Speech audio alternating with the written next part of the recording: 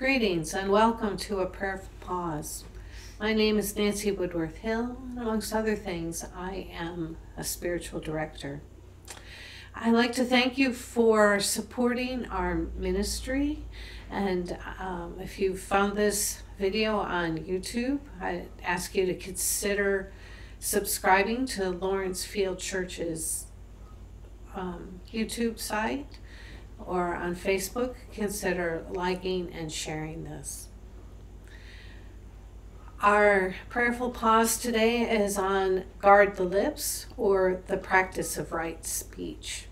Have you ever said something that you wish you hadn't and realized that you can't take the words back and how hurtful it might have been?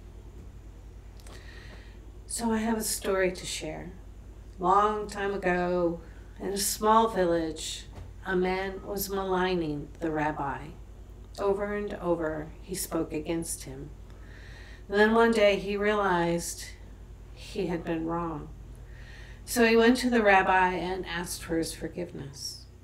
And the rabbi said, What I'd like you to do is go home, get your feather pillow, open it up, and scatter the feathers to the four corners into the wind. Open it up.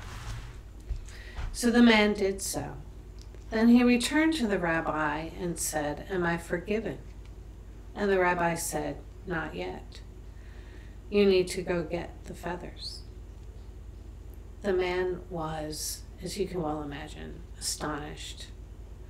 The rabbi continued, It is as impossible for you to go get the feathers as it is for you to unspeak those words. Wrong speech hurts. It impacts the speaker, it impacts those who hear the speaker, and it impacts the person who is spoken about. Because words are, in some ways, a thermometer of our hearts. How we speak matters. Words also have the capacity to be dangerous in ways. I think of the World War II slogan, loose lips sink ships. And also of the children saying, sticks and stones will break my bones, but names will never hurt me. In fact, they do deeply. They can send a person's life on into a tailspin in a way. We never know the full impact of negative things that we say. And words can be infectious, they can sow doubt and mistrust. So here's the practice. As always, be aware of God's presence. And when you're listening and in conversation, I invite you to listen to listen and to form a reply later. It is our nature, I believe, as humans, to try to form our response, what we're going to say next while we're listening. I invite you to be present to your listening. You can form a response later.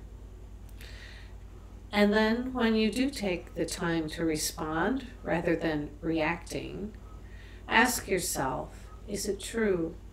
Is it helpful? Is it inspiring? Is it necessary? Is it kind?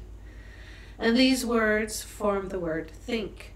True, T, H, helpful, I, inspiring, N, necessary, K, kind.